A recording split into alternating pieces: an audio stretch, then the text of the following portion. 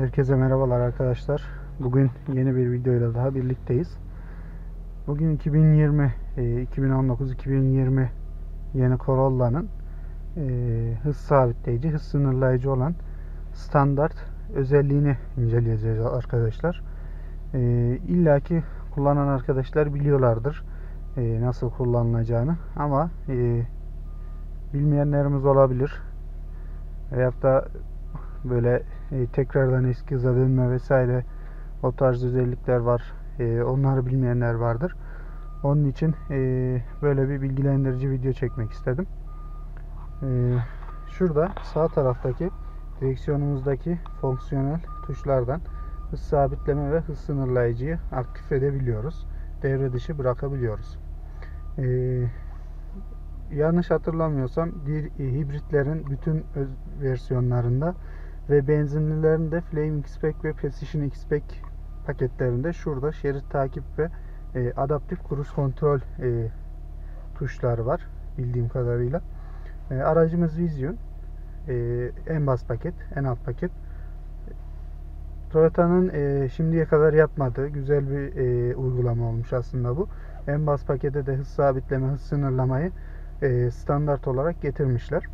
E, şimdi arkadaşlar şöyle Burada 4-5 tane tuşumuz var toplamda. Sağ ve sol e, hız sabitleme ve hız sınırlama oluyor. E, şimdi şu soldaki ok böyle geliyor. Bir yerde duruyor. Bu hız sınırlayıcı arkadaşlar. Buna bastığımızda hemen orada da e, işareti çıktı zaten. Aynı işaret orada yeşil bir şekilde yanıyor. Hız sınırlayıcıyı aktif etmiş oluyoruz. Yani açmış oluyoruz. E, daha sonra set dediğimizde e, yani git, hangi hızda gitmek istiyorsak set dediğimizde e, bu o hıza şey yapıyor, sınırlıyor ve o hızı, hızı geçmiyor aracımız. E, bunu da birazdan e, uygulamalı olarak yolda göstereceğim. Yine bu şekilde bu tuşa bastığımızda komple kapatır. Eğer burada ayarlıyken hız sınırlayıcıyı devreden anlık olarak devreden çıkarmak istiyorsak ortadaki yuvarlak tuşumuza bastığımızda e, anlık olarak devreden çıkar arkadaşlar. Bu sağ taraftaki ise e, böyle bir yerde gösterge var. Üstünde ok var. Bu da hız sabitlememiz arkadaşlar. Yine aynı şekilde bunu da o tuşa bastığımızda ekranda şu şekilde gördüğünüz gibi yeşil aynı amblemle e, simgesi çıkıyor. Yine bunu da arkadaşlar e, giderken hangi hıza sabitlemek istiyorsak aracımızı bir kere buna basıp daha sonra istediğimiz hıza geldiğimizde sete bastığımız zaman o hıza aracımızı sabitlemiş oluyor. Ee, şimdi arkadaşlar ben e, yola çıkayım. Uygulamalı olarak size de e, bunları anlatayım. Yine eski hıza dönmedir vesairedir. Bu tarz şeyler var arkadaşlar. Yani bütün hız sabitleyicilerde böyle bir özellik var. Ee, şimdi bunları uygulamalı olarak görebiliriz. Evet arkadaşlar e, şu anda yola çıktım. Ee, önce hız sınırlayıcıyı e, göstermek istiyorum. Çünkü hafif rampa iniyorum. Yani hem rampada hız sınırlayıcının ne kadar e, çalıştığını, hani kendi kendine fren yapıyor mu yapmıyor mu onu görmek açısından. E, önce hız sınırlayıcımızı açalım arkadaşlar. Biraz önce de gösterdiğim gibi hız sınırlayıcı tuşumuza bastığımızda ekrandaki simge çıktıktan sonra şu an 75 kilometre hıza sınırladım arkadaşlar. Gördüğünüz gibi orada da 75 kilometre hız sınır diye yazıyor. E, şu anda e, araç kendi kendine gidiyor ama yavaşlama da var araçta evet. E, hız düşüyor şu anda arkadaşlar.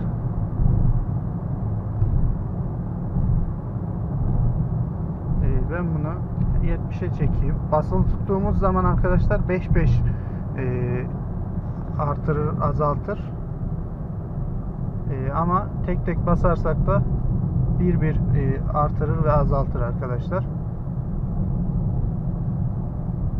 Evet, şu an düz yola e, geçtim ve e, aracım 70'e sağ hız sınırlayıcı 70'e e, ayarladım. Gördüğünüz gibi 2 kilometre hızı geçti ve e, önce sesli bir uyarı verdi. Yani şu anda gaza ne kadar basarsam basayım zaten araba gaz yemiyor. Böyle de bir e, şeyi var. Şu an 74 kilometre hızda.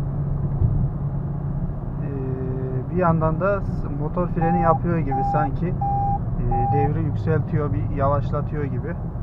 Aynen şu anda 70'e çekti geri aracımızı.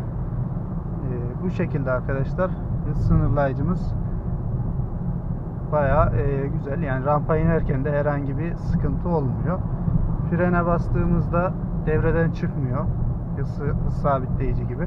Sadece şuradaki orta tuşumuza bastığımızda devre dışı bırakır. Tekrardan yukarı rest dediğimizde ise eski hız sınırladığımız hıza gelir arkadaşlar. Ee, direkt hız sınırlayıcıyı açtığımız tuşa basarsak da komple devreden çıkartır. Ee, şimdi hız sabitleyicimizi e, açayım arkadaşlar. Bir kere hız sabitleyiciye bastığımda ekranda e, hız sabitleyicinin simgesi çıkıyor. E, daha sonra aşağı set tuşuna bastığımda aracımı sabitliyorum arkadaşlar. Şu an 79'a sabitledi. E, 80 yapayım. Şu anda araç 80'de sabit gidiyor. Şekilde görüyorsunuz. E, azaltmak istiyorum. Basılı tuttum 70 78 77 76 75 diye düşürdü. Direkt düşürmedi. Ee, azaltma olduğu için hani kendi kendine fren yapıyor. Belli bir hıza geldiğinde e, azaltıyor çünkü. Yükselteyim arkadaşlar şöyle. Yine hızlı hızlı şey yaptı. Evet yani tek tek şey yapıyor ama hızlı yapıyor. Şu şekilde tek tek basarak da e, yapabilirsiniz arkadaşlar. E, şimdi birazdan e, tekrardan geldiğim yolu döneceğim. E, o zaman da rampa performansını göre, göstereceğim arkadaşlar. Hız sabitleyicini. Birazdan görüşürüz tekrardan. Evet arkadaşlar e, geldiğim yola tekrardan döndüm. Yani biraz önceki indiğim rampayı tekrardan e, çıkacağım. Güneş karşımıza düştüğü için biraz e, görüntüde parlamalar olabilir. Kusura bakmayın. E, şimdi tekrardan hız sabitleyicimi devreye aldım. 75 ile devreye aldım arkadaşlar. Bu şekilde. E, hız sabitleyiciyi bu arada söylemeyi unuttum. Hız sabitleyici de hız sınırlayıcı da e, yani adaptif cruise kontrol olmayan modellerde 30 kilometrenin üstünde çalışıyor arkadaşlar. Bilginiz olsun. Yani 30 kilometre hızı e, geçmeniz gerekiyor devreye sokabilmeniz için. E, evet şöyle frene bir kere bastığımda gördüğünüz gibi devreden çıktı araç yavaşlamaya başladı. Yukarı res tuşuna bir kere bastığımızda ise 75 kilometre hıza sabitlemiştik. Tekrardan 75 kilometre hıza araç kendi otomatik olarak çıkıyor arkadaşlar. E, hız sabitleyicinin rampa performansını açıkçası çok beğendim. Yani aracın multi drive S belki ondan kaynaklı olabilir. Ama e, rampalarda sabitlediğim hızı kesinlikle düşmüyor arkadaşlar. Yani manuel daha önce manuel araçlarda da kullandım hız sabitleyici ama ister istemez e, araç belli bir devrin altına yani belli bir hızın altına düşünce e, devreden çıkıyordu hız sabitleyici. Ama bunda herhangi bir öyle bir sıkıntı e, yaşamadım. Yani rampayı hangi hıza sabitlediysem o hızda otomatik çıktı. Yani herhangi bir problem olmadı. Dediğim gibi bu otomatik olmasının da aracın otomatik olmasının da e, avantajı olabilir belki. E, hız sabitleyici ve sınırlayıcı ile alakalı e, bunlar da arkadaşlar anlatacaklarım. Kullanımlı oldukça basit şeyler, özellikler.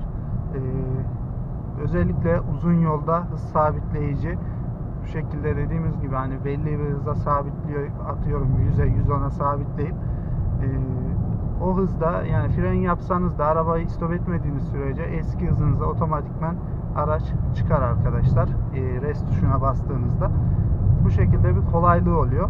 E, şu an hafif rampa çıkıyorum. Ne kadar belli oluyor bilmiyorum ama e, aracım hala 75 km hızda gidiyor arkadaşlar. Herhangi bir problem yok şu an için. E, evet anlatacaklarım bu kadar arkadaşlar. Hız sabitleyici ve hız sınırlayıcı ile ilgili. Bilgilendirme amaçlı bir video e, çektim. İlk başta da söylediğim gibi illaki kullananlar yani aracı alanlar illaki biliyordur bunları ama yine bazı şeyleri bilmeyenler varsa bu şekilde öğrenmiş olur. amacım buydu. Ee, kendinize iyi bakın arkadaşlar. Videomuzu beğendiyseniz beğenmeyi unutmayın. Kanalımıza abone değilseniz abone olmayı unutmayın arkadaşlar. Başka bir videoda görüşmek üzere. Kendinize iyi bakın. Hoşçakalın.